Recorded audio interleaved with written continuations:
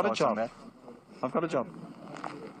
I know you have, but you have been linked with Celtic. And if the Ireland job wasn't there, is it a job that would attract But you? But I've got a job. I've got a job. I've got a job, Tom.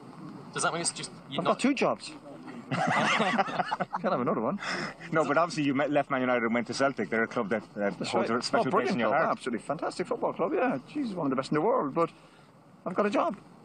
Before you started the Ireland job, Does, does that mean does that mean not interested at all? I've got a job. I've got a job. I've got two jobs.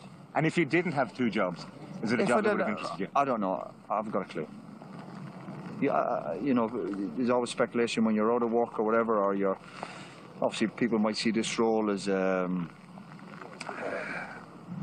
kind of part time or whatever. But uh, you know, it's keeps me busy. I enjoy it. I'm happy with what I'm doing.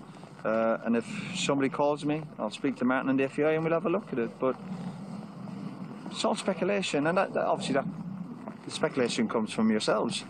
You know, I don't think you've heard it from, from any club sources. So, as I said, I'm, I've got a job, got a game the weekend, busy all weekend coming up, and I'm looking forward to that. So,